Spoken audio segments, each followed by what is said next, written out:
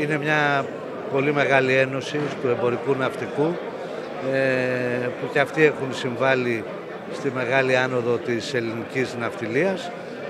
Ε, σαν Δήμος Πειραιά τους ευχόμαστε και από τον Δήμαρχό μας χρόνια πολλά, υγεία, καλές θάλασσες, ήρεμες και ειρηνικές, διότι το τελευταίο διάστημα ε, και αυτοί δέχονται επιθέσεις που πρέπει και η διεθνής κοινότητα να πάρει περισσότερα μέτρα και να προστατεύσει τα πλοία της ποντοπόρου ναυτιλίας.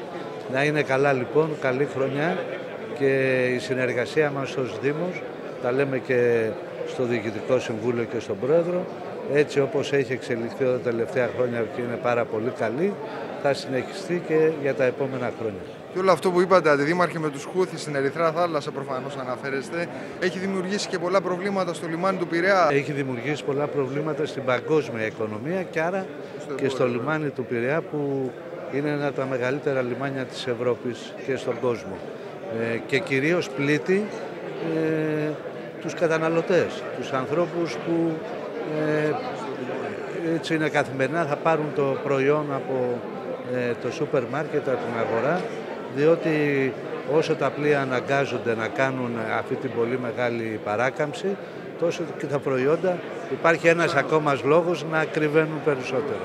Άρα γι' αυτό πρέπει να υπάρχει ειρηνική πορεία και ε, το ευχόμαστε αυτό μέσα από την καρδιά μας, γιατί έτσι ο κόσμος είναι και πιο καλός και πιο ασφαλής. Είναι η βασιλόπιτά μας. Ε, το εκθεσιακό κέντρο του ΟΛΠ έχει γεμίσει από συναδέλφους ε, επισήμους ε, φίλους της Ένωσης. Είμαστε κοντά στους συναδέλφους, ε, κοντά στους ναυτικούς για ό,τι χρειαστούν. Είμαστε νέο Προεδρείο εδώ μαζί με τους ε, υπόλοιπους συναδέλφους. Κοιτάμε για το καλό της ε, ναυτοσύνης και της ναυτιλίας μας. Ε, το θέμα είναι ότι θα πρέπει να δούμε και την αναβάθμιση της εκπαίδευσης για να έχουμε μεγαλύτερη προσέλκυση νέων στο επάγγελμα. Γιατί εκεί είναι το πρόβλημα.